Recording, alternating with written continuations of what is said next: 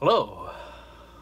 Well, today I'm here to talk about uh, a film that uh, uh, 80 years ago, uh, well, technically this December, uh, it'll be specifically 80 years, but uh, they re-released the film now um, in advance.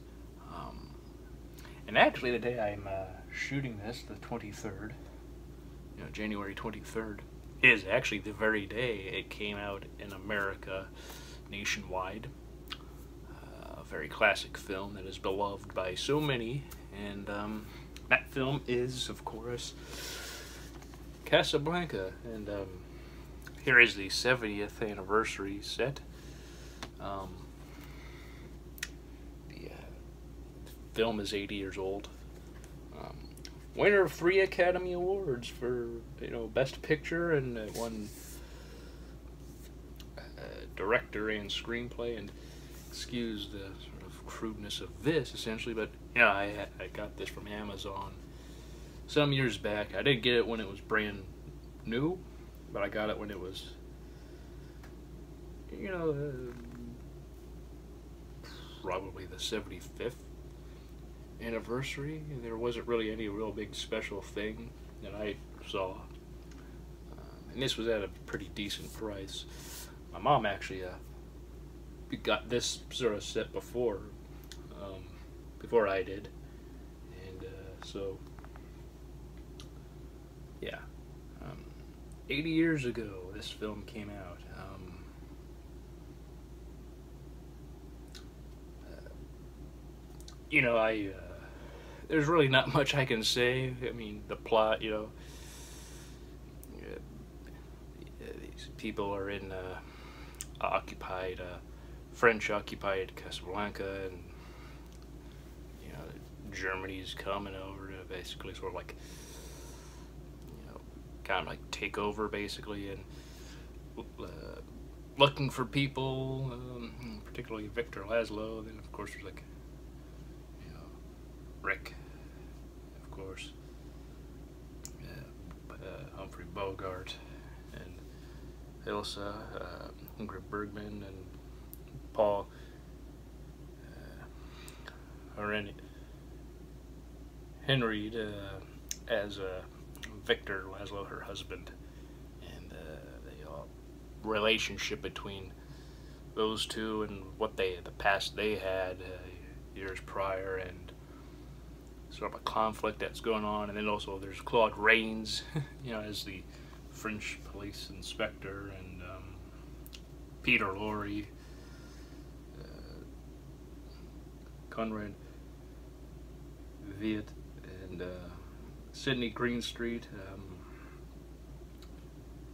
Michael Curtiz uh, directed this film, and it's a, an incredible film from beginning to end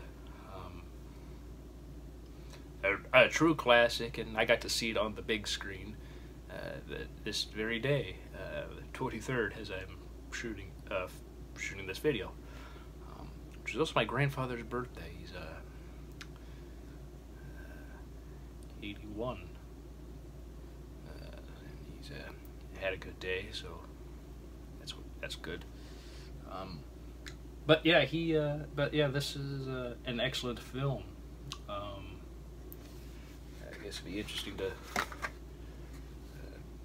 show what's in this set. Um, here's the back. Um, um, so it comes with this uh, book, um, as well as a poster, which I have not framed because, well, I just have not had a chance to get a frame for it, but it's the uh, old uh, okay, old poster. Looks really good. Um, uh, and then this uh, nice book with it, um, and the plane. Uh, uh, this is a fantastic set, though. I'm wondering uh, if they will have a new version of this, though I'm quite happy with this film, or this particular version. Um, you know, Rick's Cafe. we all, or everybody at Rick's is was the original title. Rick Blaine and um, Humphrey Bogart was truly uh, incredible in this film. And Sam. Play it again, Sam uh, is not actually a quote from the film, but everybody says that line. Um, uh, so it said is play it, Sam play it again or play it. Uh, and or some variations of that, uh, but play it again, Sam is not one of them. Um, great book to, uh, to look at. Um,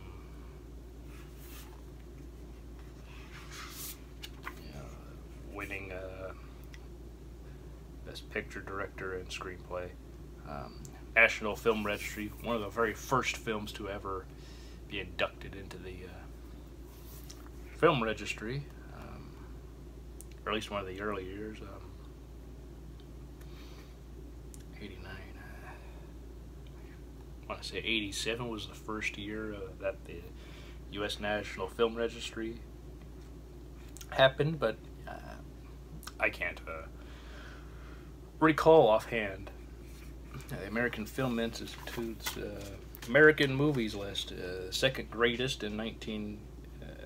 98, the, the 70 or the 37th Thrilling in 2001, and the first Passionate film in 2002.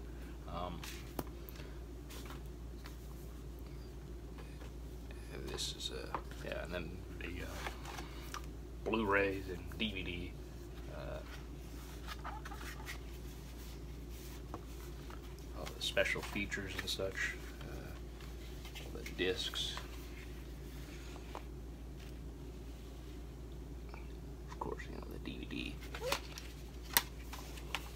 And then there are coasters. I have never opened these um, just because I don't I don't believe I would ever really want to use them. Sort of like a collectible.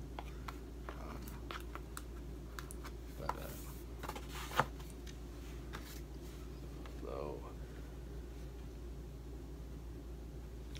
there you go. There's the, all of them the Blue Parrot and the and Rick's Cafe American. If you can see it there pretty well. Hopefully you can. Um, yeah, um, the film. So, you know what I've usually done, uh, aside from seeing this on the stuff like this on the big screen, which was excellent. Um, you know, uh, there was a lot of people. There was quite a bit of people that saw this film on the big screen, uh, which I actually like. I like when there's a decent amount of people uh, arriving to see a film like this. Here we go.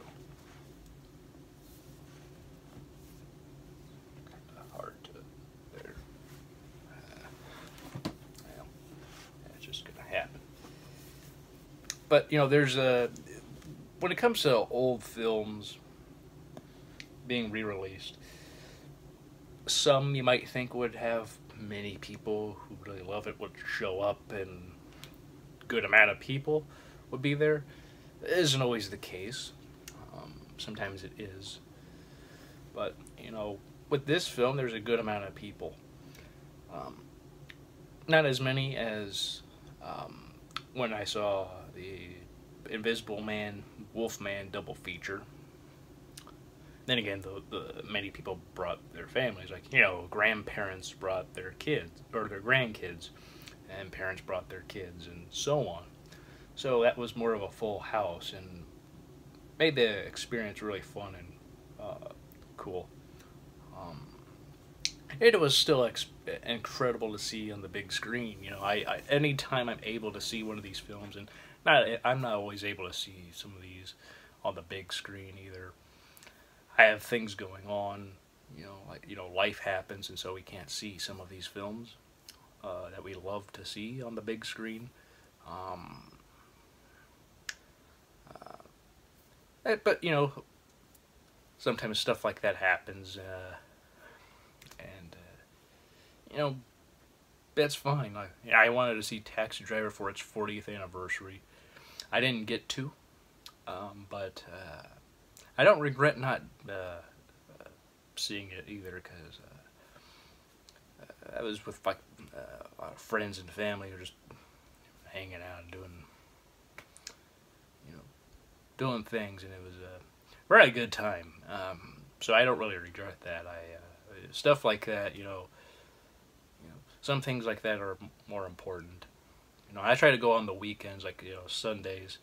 They do offer stuff in the on Wednesdays in the middle of the week often.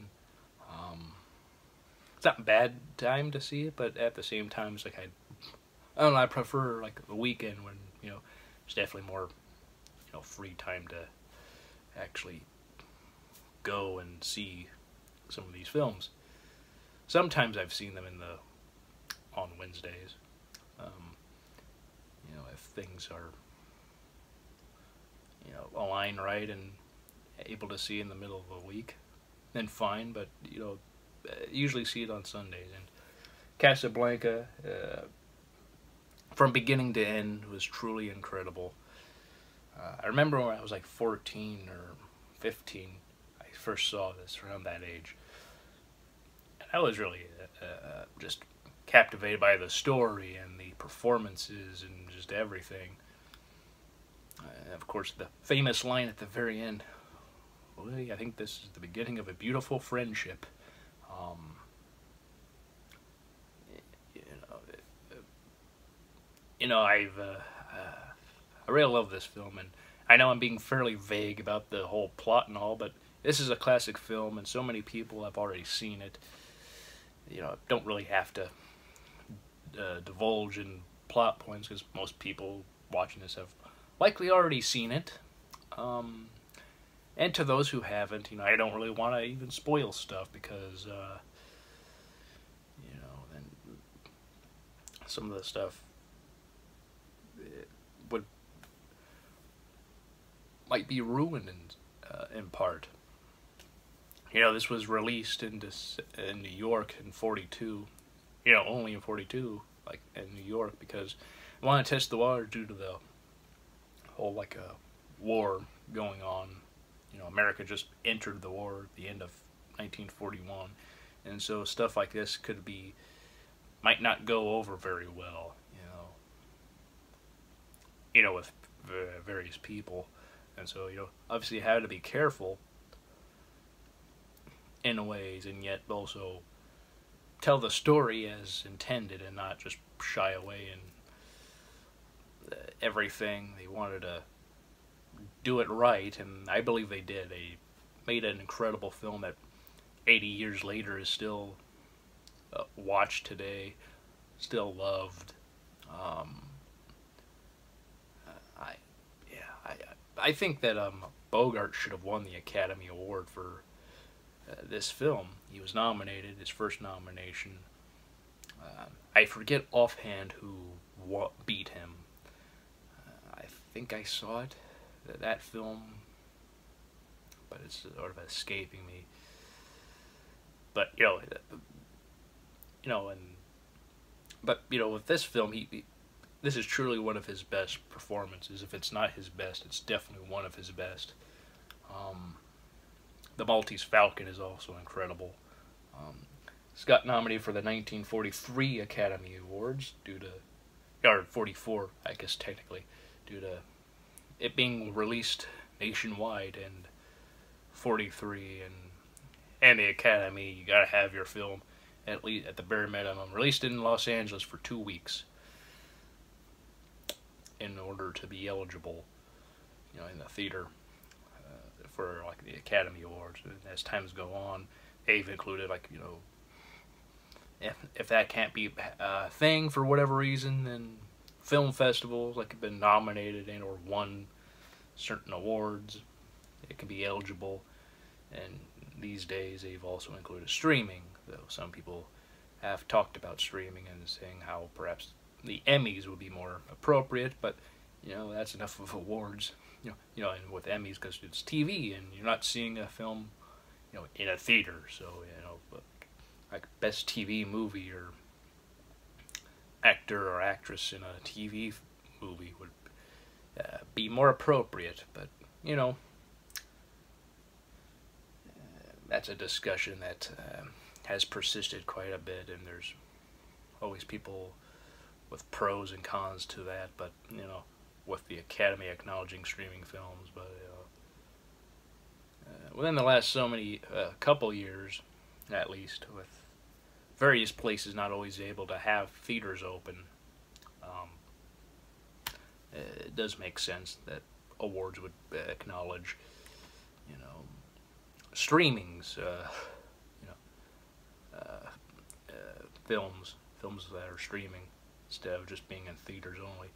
Um, but I do think that the theatrical experience is not going away, and the fact that an 80-year-old film like this can get a good, decent audience here in like Des Moines, Iowa, or I guess technically West Des Moines is where I saw it, but still the west side of Des Moines, but that's a thing of its own.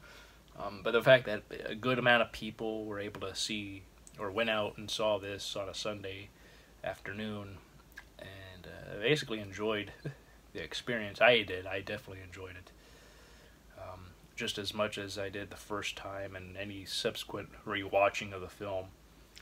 Uh, since, you know, be it on TV or borrowing like the DVDs or, having rewatched like my mom's uh, version of this uh, until getting this uh, uh, for myself. Um, this is a really a classic film. If you uh, ever, you know, perhaps by the, you know, just by the time this comes out, the film won't be in the select theaters anymore um, through the Fathom events with Turner Classic Movies and all. But you know, if any time in the future, um, if this film is in a theater, wherever you are, you know, here in America or if you're watching around the world and this uh, uh, happens to uh, be a film that will be shown, like for a classic uh, movie like day or what have you, you know, such as what Fathom Events does, um, I would say go see it. Um, if you've watched it, I, it is definitely, if you watched it before, it's definitely worth seeing on the big screen. If you've never seen it, I think if seeing it in a theater would be the first time you see it, I think that would be a great experience to see uh, for the first time. Uh, the performances and everything would it, it, I always appreciate stuff like this even more when I see it on the big screen. You know, no matter how many times I've seen something like this, and I've seen this many times, I couldn't even count. really, uh, like I could try, I guess, do an estimate, but I might not be close or uh, whatever. And I know I'm kind of going all over the place, but you know, but films like this, I really love. It's an incredible movie from beginning to end. Um, you know, there is a romantic uh, aspect of this, of course. There's war aspects of it, you know, because of you know World War II and all. It's an incredible film. There's some funny moments that people responded to. People laughed at, you know, lines, you know, that are meant to be funny, and they work. Um, like 80 years later, it still works. It's, you know, some things just you know, age really well. Some things, you know, don't just they stuck in the moment like of the time it was made, and then after like five, ten years later, like something that happened in a film or said has aged. You know, that's not the case here. I mean, yeah, it's in black and white and all, but still an incredible film. Um, you know, in a way, you know, this this sort of story of what all goes on. It's a very simple story, and it could be, it could even work today. But I'm also hesitant to say that because I would be afraid that Hollywood would perhaps try to remake this film, and they shouldn't. You know, there are films that should never be remade. This is one of them. You know, they should never touch this film ever again. You know, re-release it in theaters every so often, like for anniversaries like the 80th. But otherwise, aside from that and any subsequent uh, home video releases, let's just uh, leave it alone. You know, some things should just stay alone. Um, and regarding this, because of how this all works, I have a rubber band oh, over there, and I'm able to help close it and or keep it closed. And I uh, usually uh, have it like right there or so. Doesn't really look very appe appealing, but it's the best I can do. Um, but yeah, Casablanca is a film I I really love. I was happy I got to see it on the big screen. Um, I could talk on and on about this, but uh, I don't want this video to be uh, longer than it should be. Uh, so yeah, uh, what do you think of this film? Do you enjoy it? Do you maybe dislike it? Um, why or why not? Um, if you want to uh, uh, give your thoughts on it, uh, you may do so, of course, in the comments. Um, and I, I, I always count myself fortunate to seeing films like this on the big screen because you know it is very special, and they always show it uh, two nights at you know two times each night, like in the afternoon and the evening. Um, so you know you get you get basically get four chances to see this film um, uh, during a run like this for Fathom Events in a film, any films like this. You know, there's other films that will come out later for anniversaries, and just because you know, great films and should be just re- uh, re-released, or are at least uh, classic films that people might want to see. Um, so anyway, I've uh, uh, talked a lot about this already. Uh, I love this film. It's excellent. I always love watching it. And uh, yeah, I hope all of you are having a great day and are having and are uh, had a great week and will have a, a, great week next week. And I hope your weekend will be uh, uh, great as well. Um, so until next time, I hope all of you will stay safe and you know be well. Take care.